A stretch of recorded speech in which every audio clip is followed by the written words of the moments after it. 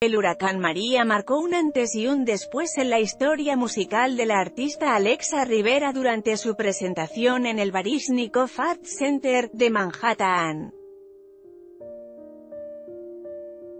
Foto, suministrada, back. Lo bueno de la parálisis es que, en algún momento, toca despertar, el postulado anterior, que bien puede sonar a aforismo, lo experimentó la pianista boricua Alexa Rivera como un llamado intermitente hasta que no pudo ignorarlo más. Cuando uno está en la zona de confort, y está cómodo, y tiene todo, pues, uno está dormido.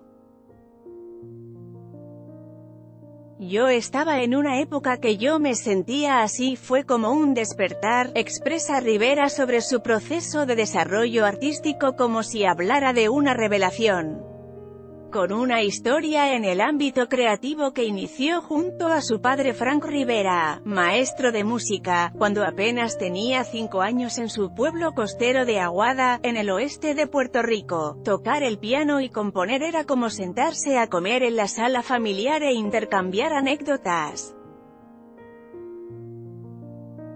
Sin embargo, como en el caso de muchos otros puertorriqueños, fue el huracán María el que sacudió y alteró sus prioridades para llevarla a desarrollar su proyecto más íntimo, el disco HIHEAL. Foto promocional de la producción HIHEAL. Suministrada, Running Films Production, experimentar en la solidaridad el dolor que sufrían sus compatriotas y ver cómo el gremio artístico independiente al que pertenece batallaba por encontrar espacios de trabajo, la impulsó al cambio que inició hace aproximadamente un año.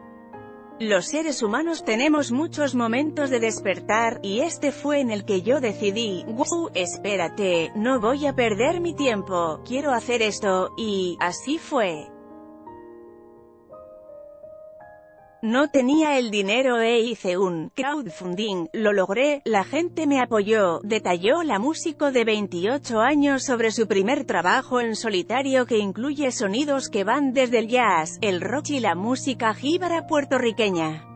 En el caso de Rivera, ese viaje también representó un reencuentro con sus raíces campestres entre las ramas de caña de azúcar que se levantaban en la central azucarera Coloso y el brazo incansable de su abuelo materno Armando, tal y como lo expresa en una de sus composiciones, un alma joven, en un anciano, que solo sabe trabajar su fantasía, aquellos días que madrugaba a labrar. Pico y pala, abrió caminos que me llevaron a sonar.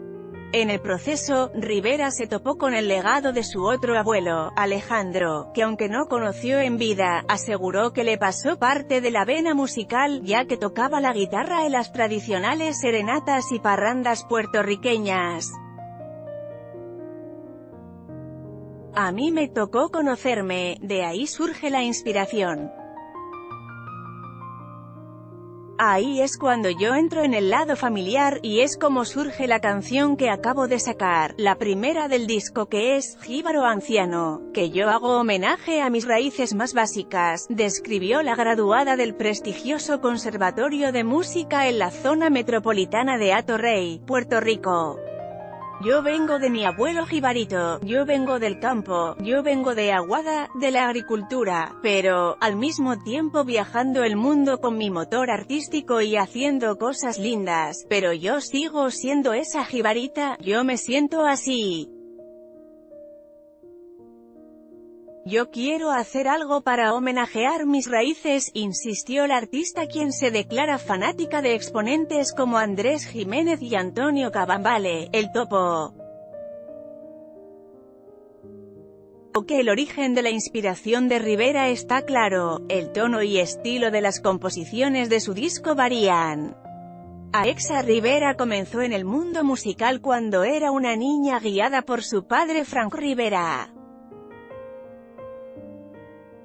Suministrada, Running Films Production, escuchar HIHAL es pasar de una emoción a otra a través de cada tema, porque a fin de cuentas, como bien lo reconoce la compositora, cambiamos todos los días.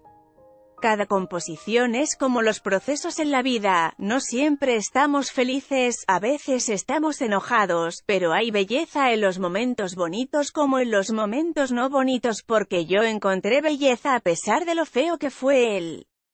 Huracán María, un poco, el disco trata de quitarle el tabú a lo malo a lo oscuro, encontrarle lo bonito al dolor, sostuvo Rivera, quien ha realizado colaboraciones como pianista con artistas como Robbie Draco Rosa, Tego Calderón y el grupo Emina. El esfuerzo creativo de la aguadeña fue reconocido por Backspace Resident Artist y The Jazz Foundation of America, que no solo la incentivaron con una beca para impulsar el proyecto sino que le facilitaron el espacio en Nueva York para que lo expusiera en el Baryshnikov Art Center. Me ofrecieron el espacio para yo trabajar, de performance, porque eso es un espacio que ofrece residencia para artistas para que vayan y trabajen en lo que ellos quieran, explicó la boricua. Con ese incentivo que busca auxiliar a artistas en escenarios de crisis por catástrofes, Rivera viajó en noviembre pasado en la Gran Manzana para presentar su producción musical tanto en Manhattan como en el Bronx.